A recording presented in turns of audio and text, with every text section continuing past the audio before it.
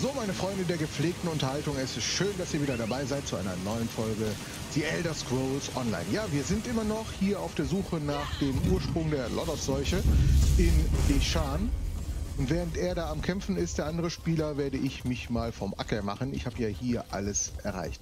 Es ist schön, dass ihr wieder mit dabei seid. Ich hoffe, ihr werdet Spaß haben, genauso wie ich Spaß haben werde. Oh, eine Kornblume. Genauso wie ich Spaß haben werde, dieses Spiel noch ein wenig zu zocken. Und ja, denkt dran, Freunde, wenn euch die Folge gefällt, Support ist kein Mord. Es kostet euch keinen Cent, ein Abo dazulassen. Ähm, ihr könnt uns nicht alle hier drin festhalten. Oder die Erinnerungsglocke zu aktivieren, so Recht, erfahrt ihr immer, sobald ich ein neues Video hochgeladen habe. Ebenso liken und kommentieren ist nicht sonderlich schwierig. Ansonsten viel Spaß beim Ansehen. So. Ihr seid zurück. Wir müssen uns unterhalten. Wer bist du denn? Ralden ist nicht hier. Er und Giron sind schon eine Weile weg. Und Girons Verbindung zu den Leidgeborenen lässt mich etwas nachdenklich werden. Mhm. Und woher wisst ihr das? Haben wir vielleicht eine gemeinsame Bekannte? Sagen wir einfach, ich bin gut informiert. Haben wir. Ich hatte schon länger die Vermutung, dass es da eine Verbindung gibt. Die Entführung des Ratsherrn hat mich darin nur bestätigt. Mein Partner und ich vermeiden lieber alle Situationen, die nicht durch unsere Aufträge abgedeckt sind. Trotzdem könnten wir einander vielleicht unterstützen. Das können wir. Wo ist denn Giron? Ich weiß es nicht. Ich weiß nur, was die Berichte mir sagen. Giron hat Ralden wahrscheinlich an einen abgelegenen Ort, fern von allen neugierigen Blicken gebracht. Alles klar? Narsis ist abgeriegelt. Dorfbewohner sind verschwunden. Mitten in der Nacht kommen Kisten mit der Lodos-Seuche an. Und jetzt findet ihr auch noch heraus, dass die Seuche sich verschlimmert wenn sie in einer Leiche gären kann. Da wundert man sich schon über Girons Plan, oder nicht? In der Tat, aber habt ihr eine Vorstellung, wie ich Giron und Ralden finden kann? Das ist der wichtige Aspekt dieser Frage. Laut Berichten hat sich eine Gruppe von Dorfbewohnern entschieden, die Sache selbst in die Hand zu nehmen. Ich unterstütze ihr Vorgehen nicht, aber sie könnten Informationen haben. Findet die Agonierin namens Schlüpf durch Finger. Sie kann euch zu ihnen führen. Okay, vielleicht weiß Schlüpf durch Finger ja ein bisschen mehr. Sie ist ja die äh, Eischwester von Leckt gerne Sand. Also, den kenne ich. Äh, warum sollte sie mir denn helfen? Ich habe das Gefühl, dass sie eure Hilfe wollen wird. Geschichten über eure Abenteuer haben sich in ganz Nases verbreitet. Findet die Agonierin, und ich wette, sie bittet euch, ihre Gefährten zu treffen bevor ihr auch nur ein Wort sagen könnt. Okay, ich werde Schlüpf durch Finger finden.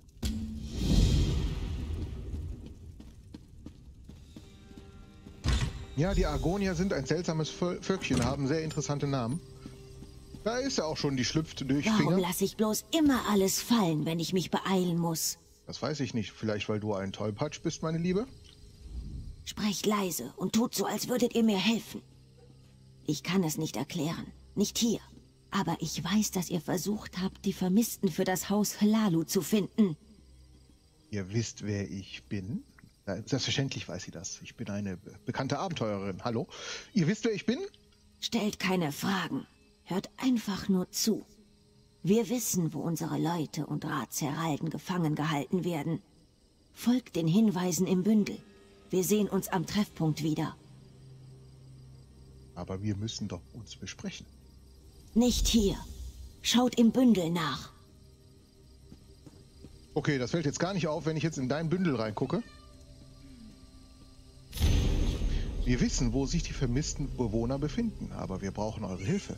Wegen der Ausgangssperre kann niemand Nasis verlassen, außer euch, versteht sich. Ja, wir wissen Bescheid über die besonderen Befugnisse, die euch der Ratsherr zuteil werden ließ. Wir würden gerne mit euch sprechen, aber habt bitte Verständnis dafür, dass wir unseren Aufenthaltsort geheim halten müssen. Wir dürfen die Hauswache nicht durch eine Wegbeschreibung auf unsere Spur locken. Stattdessen geben wir euch dies. Seht nicht zum Himmel, folgt dem Stern. Sie liefert den Schlüssel, sie wird euch den Weg weisen. Folgt dieser Beschreibung und wir werden uns bald sprechen. Seht nicht zum Himmel, folgt dem Stern. Liefert den Schlüssel, sie wird euch den Weg weisen. Okay, Stern. Sucht nach einem Stern. Okay, Sternchen. Der Stern ist eine Katze, Sternchen. Bei einem genaueren Blick bemerkt ihr einen kleinen Silberschlüssel am Hals des Tieres. Sie scheint, sie scheint für eine Stadtkatze gut ausgebildet zu sein. Na, den Schlüssel nehmen. Die Katze scheint sprungbereit zu sein. Sie schaut euch an, als ob sie darauf besteht, dass ihr ihr folgen sollt. Lebt wohl. Habt ihr Auf vom los. Lager gehört? Es gibt kein Heilmittel. Ich wusste es. Die Leidgeborenen sind dieser Tage genauso gefährlich wie das Bündnis.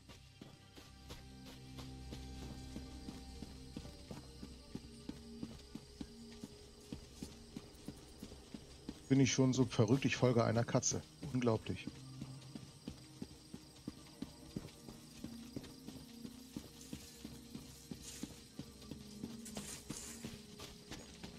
Auch wenn sie knuffig ist?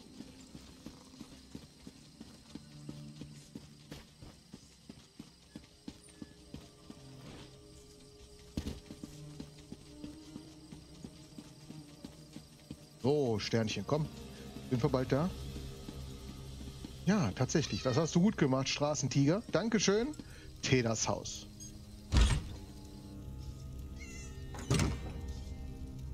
Das Haus Lalo möchte uns glauben machen, unsere Freunde und Angehörigen hätten Nases verlassen, ohne auch nur ein Wort davon zu sagen. Aber wir haben Beweise dafür, dass sie entführt wurden. Und was machen die Lalo? Nichts. Sie regeln Nasis ab und lassen es nicht zu, dass wir die Dinge selbst in die Hand nehmen.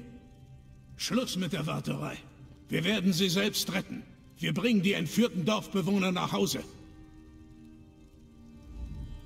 Ihr habt uns gefunden. Entschuldigt meine vorherige Schroffheit. Ihr habt also Beweise dafür, dass unsere Leute entführt wurden? Was ist hier los? Wir sind es leid, darauf zu warten, dass das Haus Helalu handelt. Mhm. Wir wissen, wo unsere Leute gefangen gehalten werden. Mhm. Aber wegen der Abregelung kommen wir nicht zu ihnen. Das erinnert mich irgendwie an unsere aktuelle Situation, die wir hierher haben. Ihr wisst also, wo die verschwundenen Dorfbewohner sind. Ich wurde Zeugin, wie die Leidgeborenen meine Eischwester entführt haben. Ich habe gesehen, wo sie sie hinbrachten. Und ich habe Ratsheralden und Berater Giron an den gleichen Ort gehen sehen. Ihr müsst uns helfen. Okay, und was soll ich eurer Meinung nach tun? Ich bezweifle, dass die Wachen euch aufhalten werden. Ihr könnt kommen und gehen, wie ihr wollt. Sprecht mit Madras. Lasst ihn euch unseren Plan erzählen. Ihr müsst uns helfen. Ich brauche meine Eischwester zurück. Ja, das ist ja kein Problem, dass du deine Eischwester wieder zurückbekommst. So. Madras. Ihr müsst diejenige sein, von der uns Schlüpft erzählt hat. Sie meinte, eine Außenseiterin wäre angeheuert worden, um unsere Leute zu finden. Das ist eine merkwürdige Aufgabe für eine Außenseiterin, selbst wenn es um Lalo Gold geht. Was habt ihr wirklich vor? Ah, da ist aber einer misstrauisch. Ich versuche zu helfen. Ratsherr Halden ist auch verschwunden. Wusstet ihr das? So ist das also. Ein paar wichtige Lalo verschwinden hm. und plötzlich entscheiden sie sich zum Handeln. Ich schere mich ein Dreck um Ratsherr Halden. Ja, ich will nur unsere Leute zurück. Ja, und er kümmert sich einen Scheißdreck um dich, aber was habt ihr denn vor? Handeln. Wir besorgen uns Waffen, pfeifen auf die Abriegelung und retten unsere Leute. Wenn irgendwer versucht, uns aufzuhalten, dann mähen wir ihn nieder. Werdet ihr uns helfen oder nicht? Hm, ich weiß, ihr meint es gut, aber die Wachen anzugreifen ist äußerst dumm. Ich will nicht gegen sie kämpfen. Sie haben ihre Befehle, aber sie vergeuden nur Zeit. Jede Sekunde, die verstreicht, ist eine Sekunde, in der unsere Leute weiter in Gefahr schweben. Manchmal muss man zu drastischen Maßnahmen greifen, um jene zu retten, um die man sich sorgt stimme ich dir zu. Aber manchmal ist es auch schlauer, einfach mal die Stü Füße zu, zu, äh, stillzuhalten. Wenn ich euch helfe, könnte ich die Unterstützung des Hauses Salalu verlieren. Ich weiß, es ist keine leichte Entscheidung. Insbesondere für jemanden, der mit dieser Sache eigentlich nichts zu tun hat. Aber ich muss wissen, ob ihr uns helfen werdet. Wir könnten jemanden mit euren Fähigkeiten gut gebrauchen. Hm. Entweder ich werde euch helfen, das ist jetzt eine festlegende Entscheidung, oder Bauern, die sich den Leidgeborenen stellen? Das ist Selbstmord. Ihr werdet alle sterben. Lasst mich die Sache übernehmen. Wir werden unsere Familien retten oder bei dem Versuch sterben. Ich traue euch nicht, Außenseiterin. Wir kümmern uns schon selbst darum. Lasst uns in Ruhe.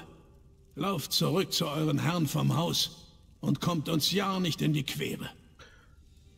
Das war eine dumme Entscheidung, mein Freund gewesen. Das war eine sehr, sehr dumme Entscheidung, aber okay.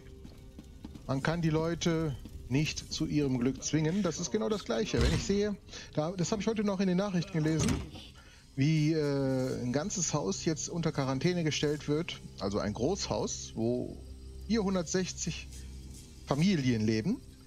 Muss man sich mal vorstellen, 460 Familien. Und von diesen 460 Familien haben zwei, die unter Quarantäne standen, das Quarantäne, die Quarantänepflicht verletzt und sind rausgegangen zu ihren Nachbarn und haben sich mit denen unterhalten, ganz normal. Und weil das jetzt rausgekommen ist, muss jetzt das gesamte Haus, inklusive alle 460 Familien, in Quarantäne gesetzt werden. Das ist doch unsinnig, wegen Dummheit von zwei Familien.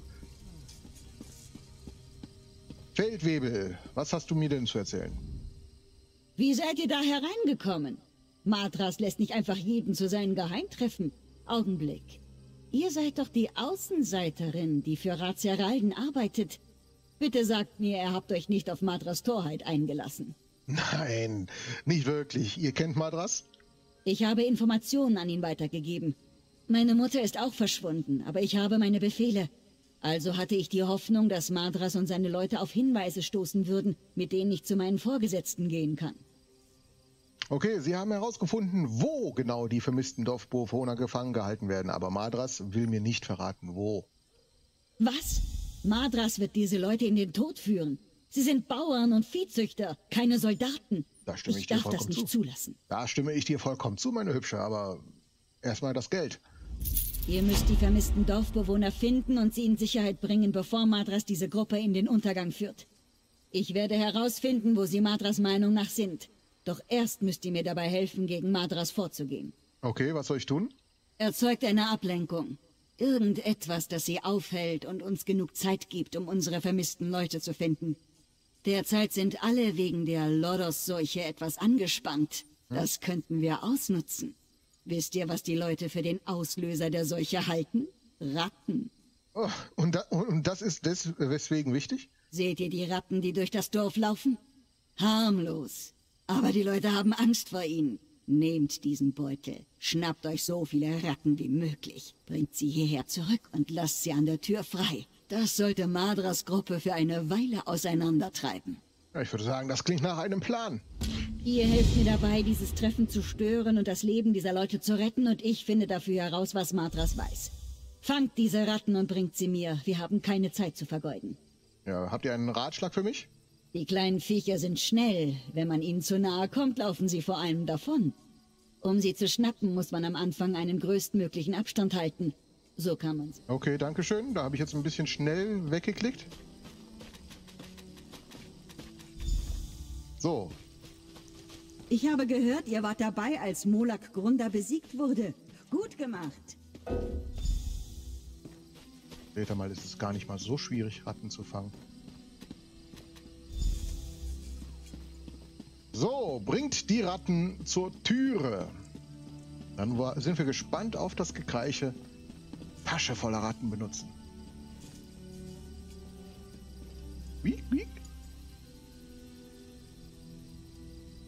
Was ist das für ein Geräusch? Ratten! Die haben die Seuche! Lauft! Macht die Fenster auf! Aus dem Weg! Lasst euch nicht von ihnen beißen! Ja, Sieht aus, als ob die Ratten eingezogen sind. Ich weiß eure Hilfe zu schätzen. Jetzt wird niemand zu Schaden kommen. hm, warum schickt ihr denn keine Wachen los, um ihn aufzuhalten? Diese Leute wollen nur ihre Freunde und ihre Familien wiedersehen. Aber ich möchte nicht, dass ihnen etwas zustößt. Die Wachen zu rufen, würde die Lage nur verschlimmern. Okay, habt ihr herausgefunden, wo die vermissten Leute sind? Ich erhielt die Information durch meinen Kontakt in der Gruppe. Meldet euch wieder beim Sippenhaus. Wir treffen uns dort. Ich werde den Schlüssel holen, den ihr braucht, und bewahrt Stillschweigen darüber, ja? Klar, von einem Fellwebel zum anderen Fellwebel mache ich das doch glatt. So.